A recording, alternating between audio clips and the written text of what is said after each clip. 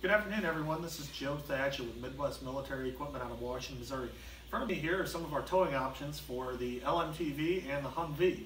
Uh, this works on both the LMTV and the MTV. It's a two-inch receiver hitch, goes right below your factory pintle and bolts in the factory holes.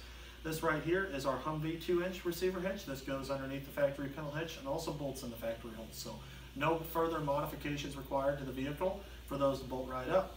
In front of me here is our semi-trailer converter. This has a standard 7-pin semi-plug along with a military NATO plug. So this plugs right into your truck and then you're able to plug your uh, civilian trailer right into it.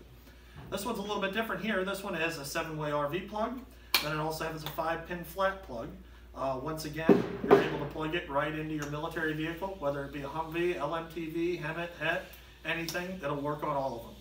Uh, these converters are more mainly designed for people pulling semi-tractor trailers. Uh, that's why it's got that larger plug, uh, where these are more your civilian trailers, like your gooseneck trailers and your standard pintle hitch or ball type trailers.